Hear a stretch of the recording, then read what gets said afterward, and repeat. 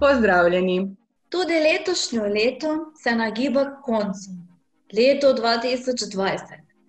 Ne, nekakšno najverjetno leto, kar vse se nam je dogajalo, enem pa skoraj da nič.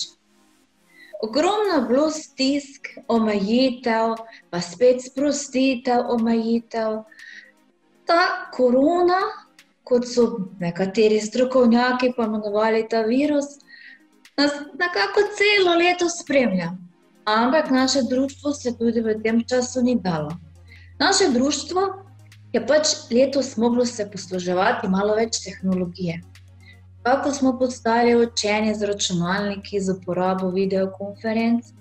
In prav te videokonference smo uporabili za, našo, za snemanje našega MS reporterja, enem, Smo pa sodelovali z študenti filozofske fakultete eh, v Mariboru, kjer, je, kjer so nam prevedli spletno stran, potem so tudi prevedli MS Reporterja in smo lahko dodali eh, podnapise.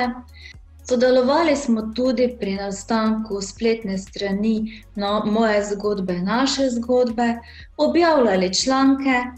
Kaj pa še bil letos, se mi zdi najbolj pomemben in najbolj takšen udaren projekt, pa je bil, da smo v obdobju, ko so naši otroci šli v šole, spet poslali bone za šolske potrebščine otrokom, ko grejo v osnovne šole.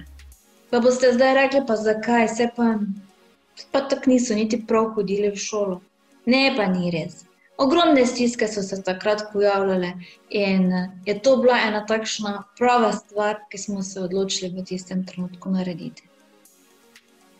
Tako, leto je pri koncu, mi se ne damo, delali bomo drugo leto nove stvari, lahko zaokrožimo to leto, da je bilo polno nekega novega znanja in novih dosežkov, ki jih lahko potem v nadaljevanje uporabimo.